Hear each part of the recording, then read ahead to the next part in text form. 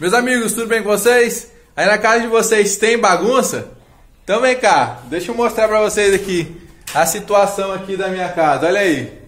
Estamos mexendo aqui, fazendo mais uma melhoria na nossa obra aí e mostrando para vocês em primeira mão. Estamos instalando o, o gesso aqui no, no teto da cozinha.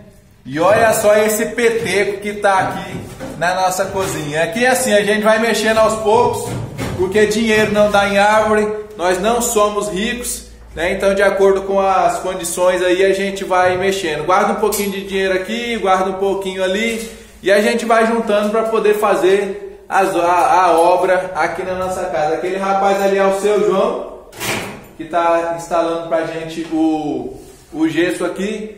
A instalação elétrica fui eu mesmo quem fiz, né? Porque eu sou eletricista, então eu fiz Tô, deixei todos os pontos aí da, das luminárias, onde vão ter aí é, a, as luminárias, né? E quando tiver o serviço pronto, eu faço outro vídeo e mostro para vocês como é que ficou então a nossa cozinha depois da instalação do gesso e depois da instalação aí das luminárias. Por enquanto é isso que nós temos aí, ó. Muito PT, com muita bagunça. E o seu João é o bagunceiro, parece uma criança. Mas não tem jeito não. Fala, seu João.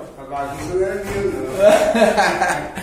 Mas não tem jeito não. Mexeu com gesso. É esse peteco aí, ó. Quem nunca colocou forro de gesso na sua casa, é, pode ter certeza que o dia que você colocar é esse peteco que vocês estão vendo aí, ó. Não tem jeito de ficar limpinho não, porque até porque o pó de gesso, o próprio pó de gesso, ele suja muito a casa da gente, né? Né, Thalinha? É. Né, Abner?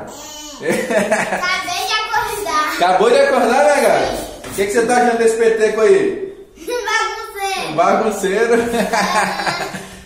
Pessoal, é isso aí então. Deixa, quando a gente terminar o serviço aqui, eu faço um outro vídeo e mostro pra vocês como é que ficou. Beleza? Até mais, pessoal. Tchau. Tchau.